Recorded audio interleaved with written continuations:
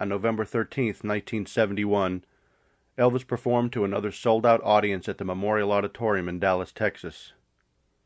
Wearing the black pinwheel suit with matching cape, Elvis took Dallas by storm. He belted each song out with conviction and performed with the energy of an erupting volcano that could no longer be contained. The faster numbers ended with a barrage of karate kicks and punches that brought the audience to their feet with delight. The climactic ending of Polk Salad Annie was so wild that Elvis almost punched himself in the face. Seconds later, Elvis raised one leg straight out in front of him, and without attempting to break his own fall, fell backwards, slamming down on the stage, lying flat of his back with one leg extended toward heaven.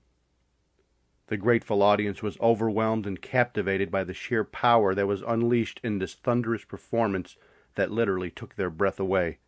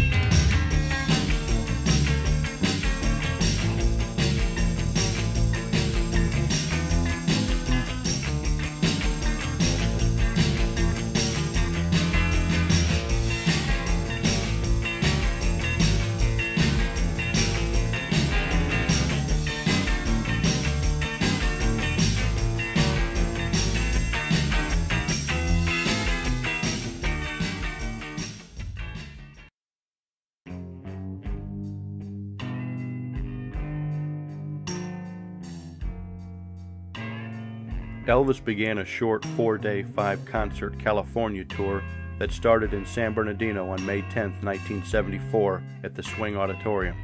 Wearing his colorful blue rainbow suit, Elvis was greeted by thousands of screaming fans and an endless sea of popping flashbulbs.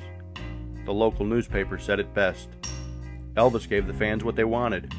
He gave them low moans, sweaty scarves, swiveling hips, bold stances, and non stop Elvis. 1974 marked several changes for the Elvis Presley show. Duke Bardwell replaced Emory Gordy on bass guitar, and the male group that Elvis named Voice joined the program. And for the first time since 1971, Elvis appeared without his usual cape. Elvis performed several brand new songs, including Let Me Be There and his latest single, Help Me, which was due to be released within a week. Ed Hill joined the Stamps Quartet, and during his first performance on stage with Elvis on May 10th in San Bernardino, Elvis made a point to walk up to him and shake his hand and welcome him to his family.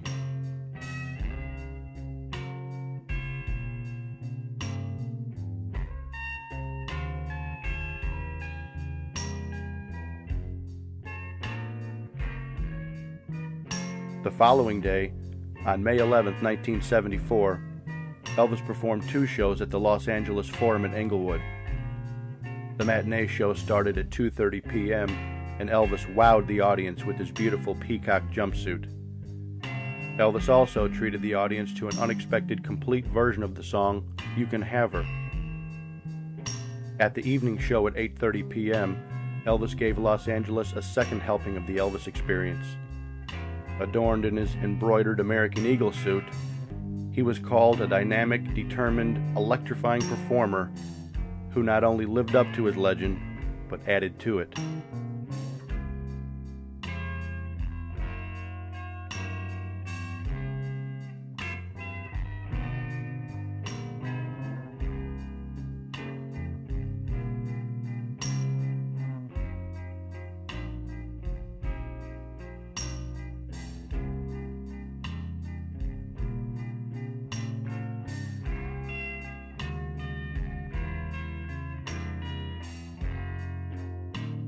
When Elvis performed, no other show in town could compete. His previous opening in Las Vegas was originally scheduled for January 25th, but was changed to the following day so it would not conflict with Frank Sinatra's comeback at Caesar's Palace. On January 26th, Elvis greeted the audience in Las Vegas by saying, Me and old Blue Eyes are back.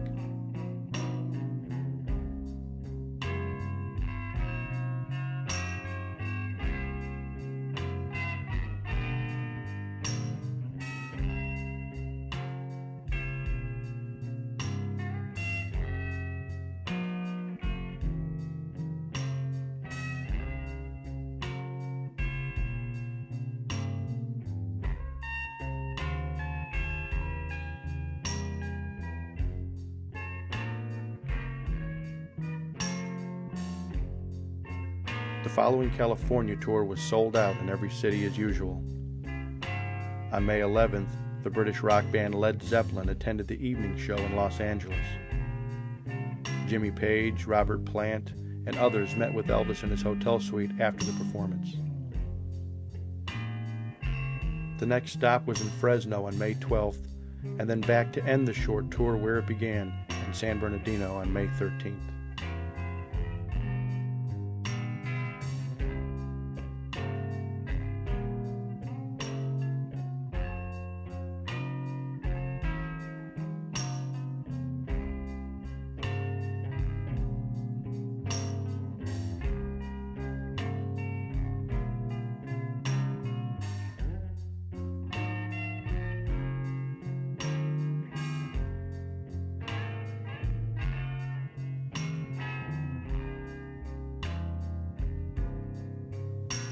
Four days, Elvis performed to over 58,000 fans. Elvis insisted on keeping ticket prices as low as possible so everyone could afford to go. Ticket prices ranged from only $5 to a maximum of $10. Elvis shook California like an earthquake, and the rave reviews followed everywhere he went. They said, his electric stage presence is undeniable and his vocals riveting as ever. What Presley has to sell is charisma and showmanship, and the show was further evidence that he is without equal.